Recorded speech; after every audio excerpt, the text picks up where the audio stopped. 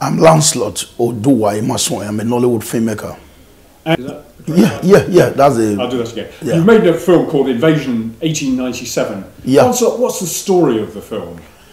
Uh, Invasion 1897 is about uh, the events and uh, series of events that led to the British invasion of the Benin Empire in the year 1897. Uh, before now, when you Google uh, Benin in 1897, you are going to see the, the Benin massacre and uh, the British uh, Benin punitive expedition.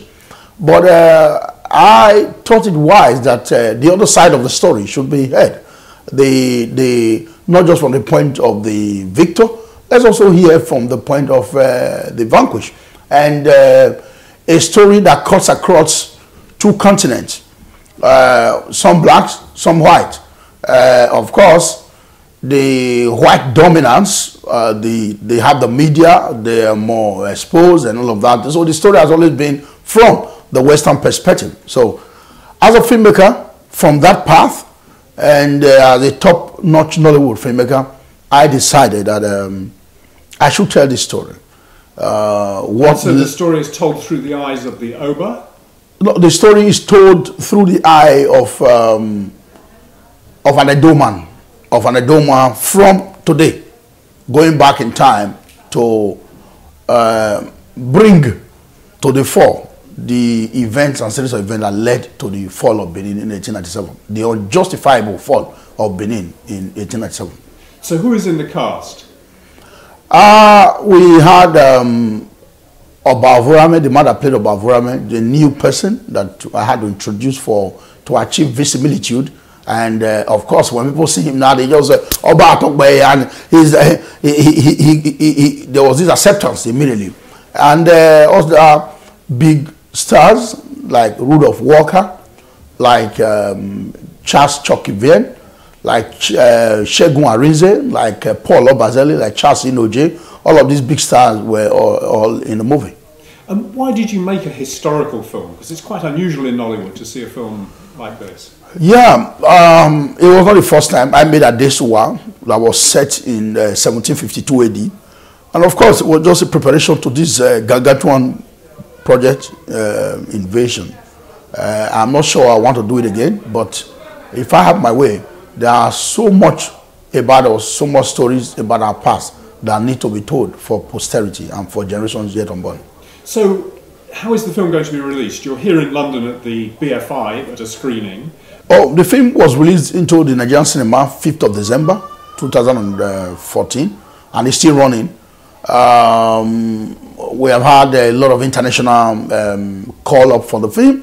Uh, BFI has adopted the film now for the African Odyssey that is happening 7th of February. Uh, I'm on my way to the Pan African Film Festival in Los Angeles. is in competition, official selection. Uh, it's also going to have a special screening for children, for for um, um, secondary school students in, in the U.S. Uh, it was adopted also by the Smithsonian Institute, uh, celebrating 50 years of African arts with this film, and several other institutions. And uh, I'll be at St Andrews University in Scotland uh, to present the film and several other um, higher institutions that the film will be. Uh, when I was making that, I was very particular that um, the, the, the university premiere tours were going to be an integral part of the marketing of the film. And is it possible to get the film in a in streamed or on DVD? Or right now, no, it's not there, but we are working towards that. I want to make sure that we exploit uh, all areas of uh, um, live theatrical releases like this before we go into streaming and DVD. Definitely before June, it will be sorted out in that uh, regard. Yeah. Uh, just a last question. It's an odd time to ask you, but what's what's the next film project you're working on? People keep asking that. Just yesterday, yeah, I was asked that. I'll keep saying the next project remains Invasion 1897 because I've committed five years to the marketing of this film.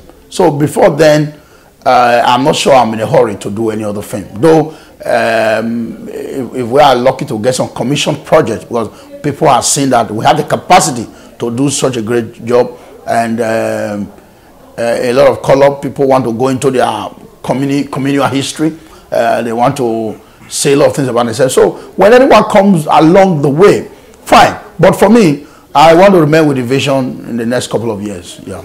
And how difficult was it having enough budgets to make a film which is which is epic in many ways? Yes, it was was was uh, was was huge. It was really really difficult. We took four years in production, um, from this research script, uh, production, pre-production, and what have you. And then uh, marketing. We, you know, we're having this huge challenge in Africa, really getting the right budget for marketing of our films and all of that. So all those challenges are there. But this job uh, took me quite a lot. Took me quite a lot.